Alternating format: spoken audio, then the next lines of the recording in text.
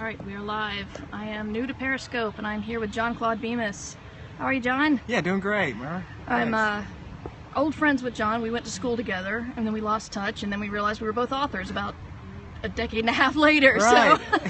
So, so we uh, we got uh, we're he- we talked to you a couple of years ago with your first book, right? Right, the nine pound hammer. That's yeah. right. yeah, that was a great book. Thank you. Thank And you. uh, you're out with a new one.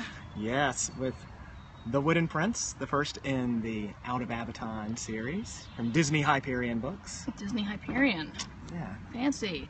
And it is a uh, retelling of Pinocchio. it is. Yes. So this is. You said a magical word to me. I'm interrupting you. I'm sorry. No, you said no, a no. magical word to me before we started, and I was very excited. Oh, well, you were you were asking if it was steampunk, and it, it's and some people have kind of described it as that, but I, I like to think of it as more Da Vinci punk, since it kind of is uh, some sci-fi elements that are more in a kind of Renaissance Italy. Mm-hmm. So this is a um, this is a Venetian empire where they uh, uh, where we have ex- extraordinary machines that are being created. You know, if you think of like what Leonardo da Vinci, all those designs that he did, the flying machines and so forth that were never able to be built. This is a, a Venetian empire where they are, where the the imperial airmen for the Venetian Empire have these great mechanical wings that they can wear. Palaces are now able to float, and they're building these mechanical servants called Automa. These these uh, these uh, creatures of, of mechanical beings of wood and gears,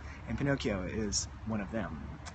So, um, would you like me to read a little from it or tell a little bit more? So, Uh, whatever you're comfortable with. Yeah. Um, I, I do want to know more, but I, I also well I'll ask you that later. But Okay. but uh, if you want to read a little bit or if you want to tell a little bit more, whatever you're Yeah. comfortable doing. How about I read a little bit just from the opening Okay. of the book? So a little, a short passage here that just kind of introduces uh, the the reader to this Pinocchio, because this is not the Pinocchio as you can imagine from the Disney movie or even from the original. I've kind of taken a lot of elements from the original story, but sent it in a new and different direction. So. By the time Pinocchio arrived in the village of San Baldovino, he was bursting with impatience to get free. Being locked in a trunk shouldn't have bothered him. He was an Automa after all. Back in the palace where he came from, Pinocchio had been locked in closets and stored away in cupboards with the other mechanical servants all the time. But since he'd been locked in this trunk, he was changing. Pinocchio shouted and tried to kick the inside of the trunk, but with his wooden knees pressed into his wooden chest, he was too cramped to make much of a kick. He wriggled and twisted, tangling his smock shirt and tearing his leggings until he became aware of muffled voices outside the trunk. Let me out, he cried. A moment later came the sound of squealing nails being pried from the lid. Then the trunk was opened. Pinocchio stretched out his legs and sat up with a puff of relief. Two figures stared at him. The closest was an Automa butler with chipped paint on his wooden face, wearing a moth eaten black suit. The Automa butler held the axe that had been used to pry open the lid. The other was an elderly man with a bright red nose and watery red eyes that struggled to focus on Pinocchio. Otto, give us more light, the old man wheezed.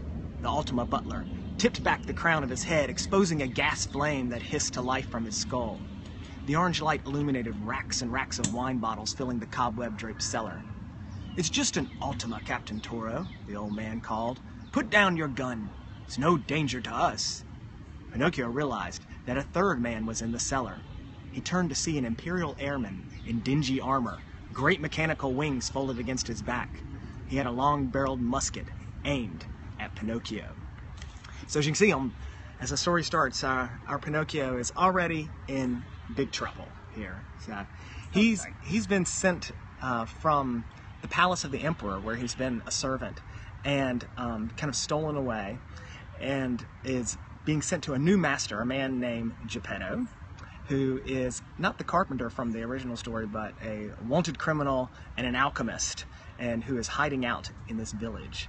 And so, when Pinocchio and Geppetto, uh, part of when they meet, part of the mystery is that Geppetto, he's as an alchemist, he has built, repaired, owned these kind of Automa before, but something strange is going on with this with this one, this Pinocchio, that he he almost seems as if he's coming to life. He he has he's showing curiosity and and wondering about things and showing nervousness and anxiety. These things that these traits that these Automa never seem to exhibit.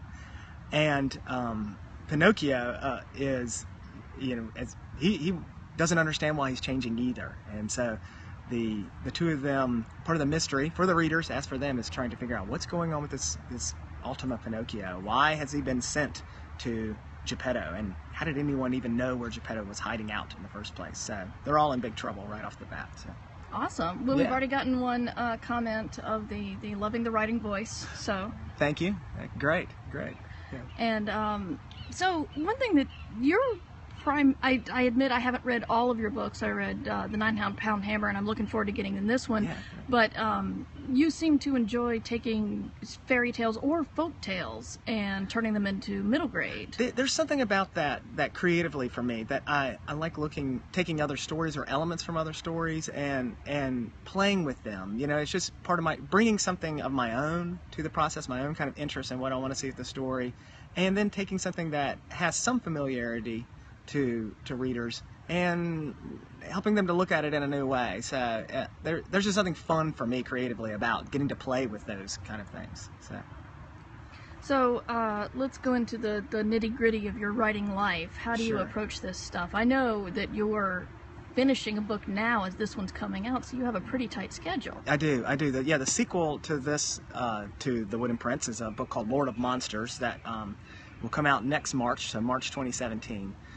That's Um, the best title ever. Oh, thanks, thanks. Yeah, um, and it'll be fun for readers they discover what what the title's all about too. So, it um, yeah. So right now I'm, I'm in the thick of revisions on, on that book, and Right. so yeah, it's uh, but I'm r- really having a lot of fun with it. The first book used more of the original elements from the Pinocchio story, kind of the framework of Pinocchio's story. You know, the uh, the, the coming together with Geppetto at the beginning, the the two of them kind of separating, losing one another, the marionette theater, the getting swallowed by the whale, and I I um you know put my own little spin on a lot of these these aspects to the story. But the next book coming out, Lord of Monsters, this is uh, taking Pinocchio and the other characters in a whole new direction. You know, I got to just just take it from there, however where I wanted wherever I wanted it to go. So do you ever get any uh, criticism for the way you take an existing story? I just this just yeah, I wonder, like especially uh, your first one was uh, John Henry. Yeah, it took some John. Hen-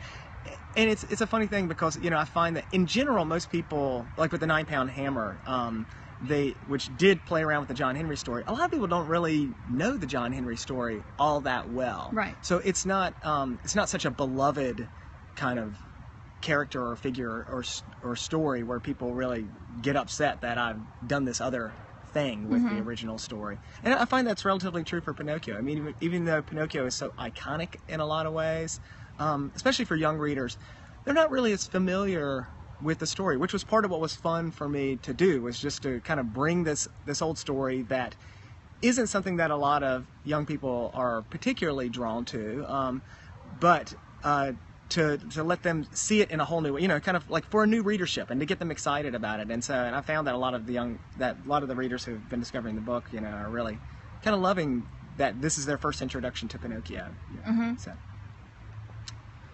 So, um, do you have a writing regimen, or do you just try to get it done when you can? I, well, I, I this is I've been fortunate. This is what I'm doing now for my job. So, um, you know, I have an eight-year-old daughter. I take her to school, and when I get back to the house, that is my time to to work. And I don't. I try to not check email. You know, don't do other things. I don't wash the dishes. I just try to. You know, I'm in the office at that point, and um, I will, you know, work on my writing.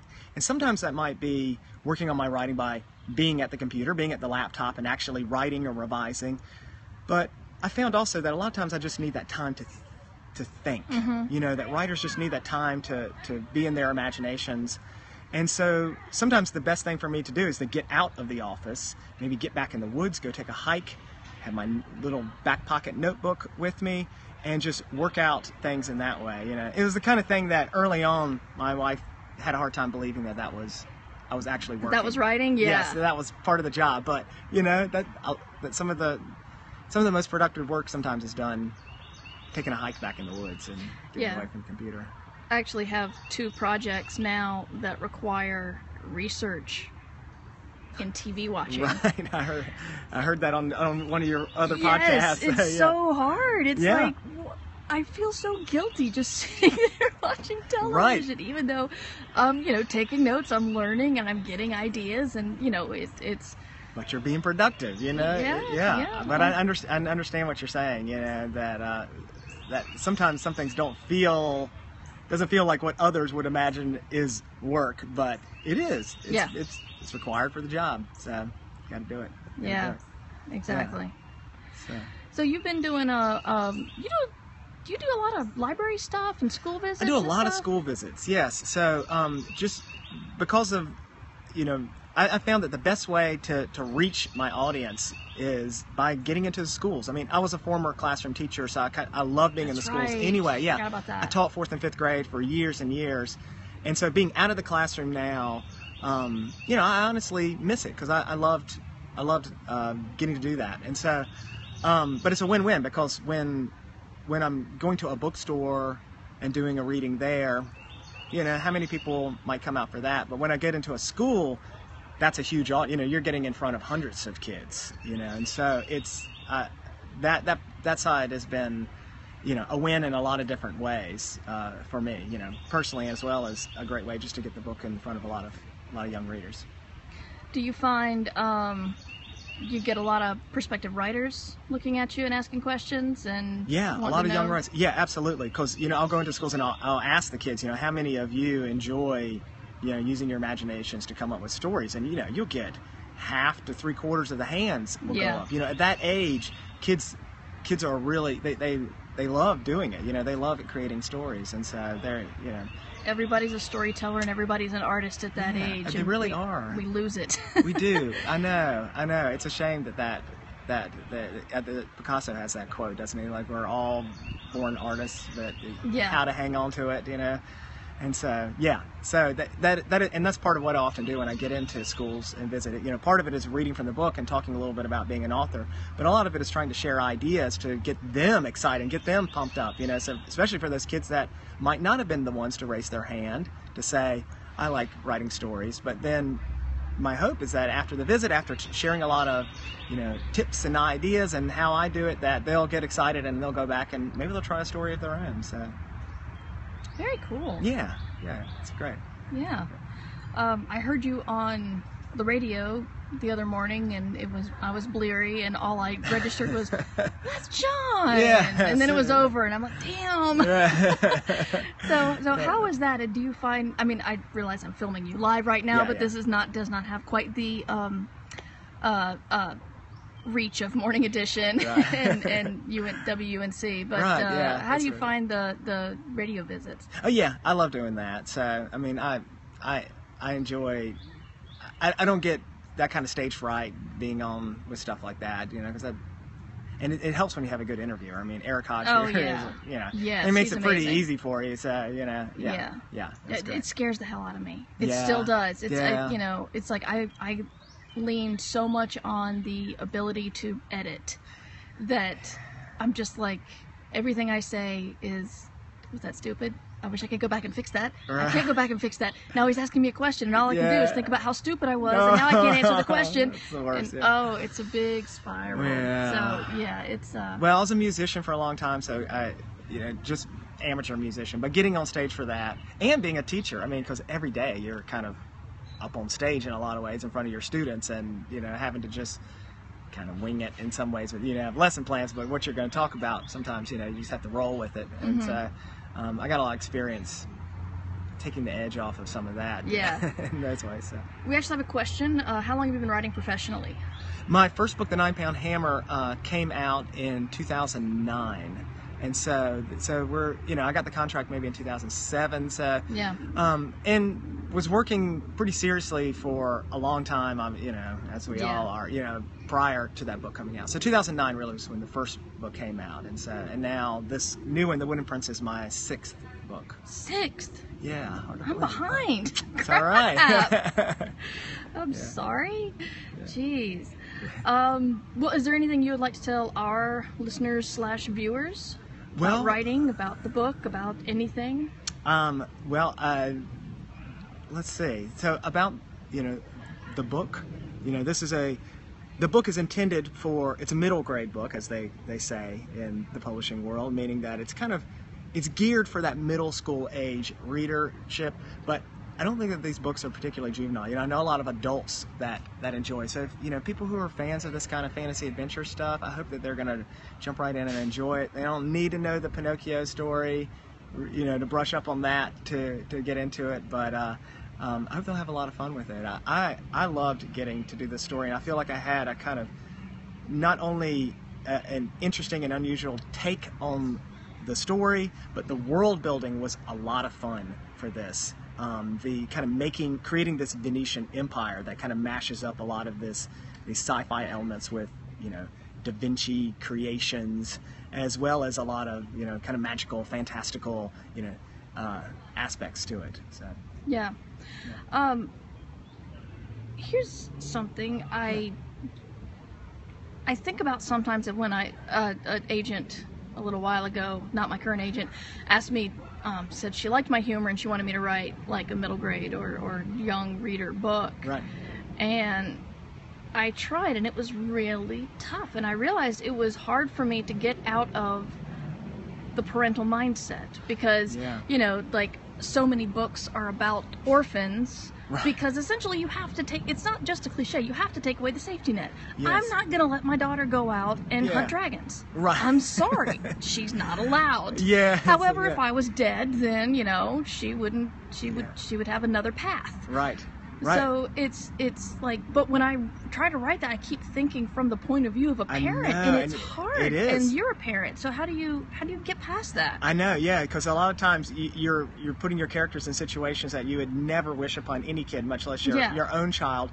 But in a way, it's it's that's what young people want to read about. You know, Oh, I know. You know, and they and it's and I think developmentally it's so good for them. It's it's why uh, you know, like a lot of those old fairy tales were so dark, you know, and often quite violent.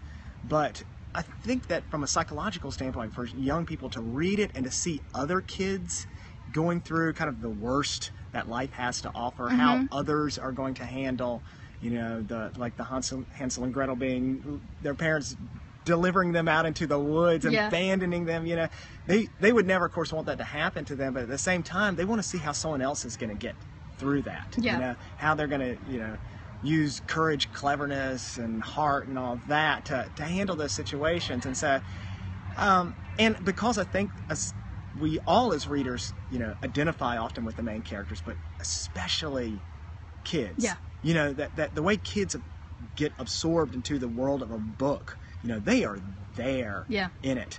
And so whatever the character's doing, they're they're they're getting to, to vicariously live those those experiences in a powerful way. And I think that it helps them to to you know, even if they're not going to fight dragons one day, they uh you know, I think that there are lessons to be absorbed there that, you know, they give them courage to tackle some of life's difficulties. Yeah. So I just remember I was reading a Beverly Cleary book to my daughter a couple of years ago, and it was.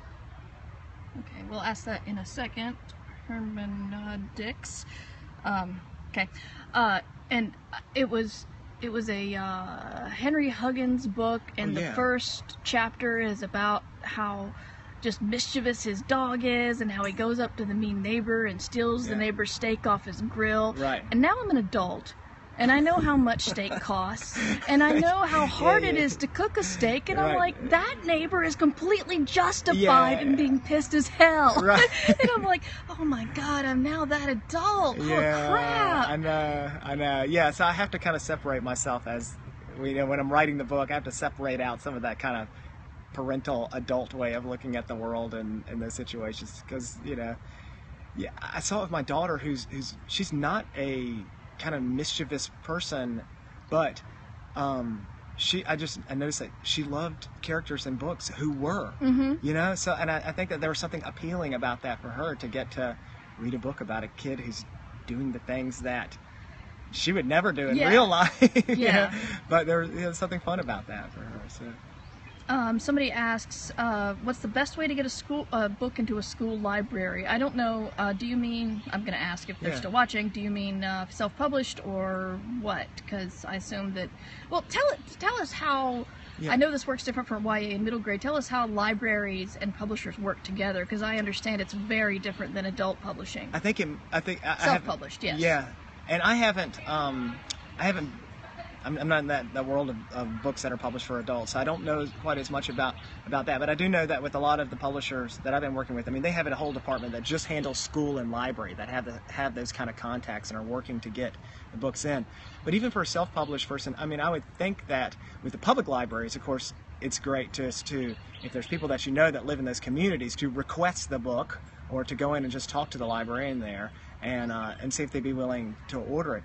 And for school libraries, um, what's been helpful for me is to try to get to some of these school library conferences and present to librarians. You know, um, even if that means kind of reaching out to them and saying, "Hey, I've got a presentation that I'd like to do uh, at your conference." what kind of conferences So- are these? Can you Well, name some? they have uh, they have school library conferences that are spe- specifically for that and not for public libraries. You know, in North Carolina we have uh, North Carolina School Library and Media Association that puts on a conference every fall, and there's you know school librarians from all over the state who are at that. Okay. Um, and so, and so it's an opportunity just to, to get your name out there and to meet these these librarians. You know, even probably just attending them, even if you couldn't get it as a presentation, is a way just to attend, just to just to kind of mix and mingle with with some of these folks. Right. Um, you know? I know one thing you, you're going to need to do on the self-published end is make sure you get an ISBN so your book can be ordered. Right. I would think so. Um, but yeah, having I, I've heard having people request the book at the library is kind of a is a is a big step. Yes, I would. Yeah, I think that that helps a lot.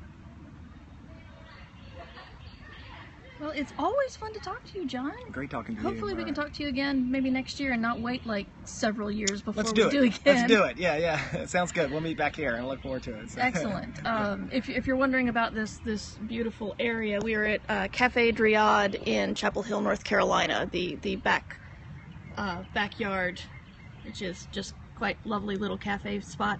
Uh, where can we find you online, John? At uh, johnclaudebemis.com. I have my website is there, and I'm have an author site on Facebook that I encourage you to, to, to like and to follow uh, me there. Um, and I'm also on Instagram though with just more, just kind of, you know, more the, the daily life of what I do as an author. So Excellent. yeah, Actually, I, I want to talk to you about that. I Yeah. have uh, I have a funny block when it comes to social media. Yeah. I use Twitter. I love Twitter. Twitter is my space. Yeah, which is funny because I haven't been able to quite.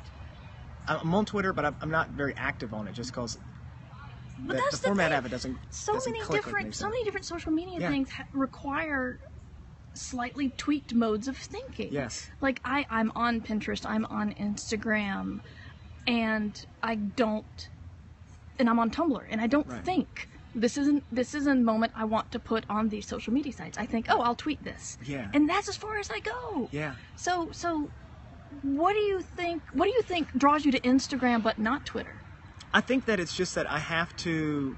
So my daily life is so involved with with crafting language and stories and stuff like that that the idea of getting on Twitter and coming up with something there is, you know, I only have so much creative energy I can put into that. And so, whereas Instagram, I can just snap a photo. I don't have to necessarily uh, craft a lot. Of, you know, I don't have to wordsmith it very much. so, Interesting. yeah.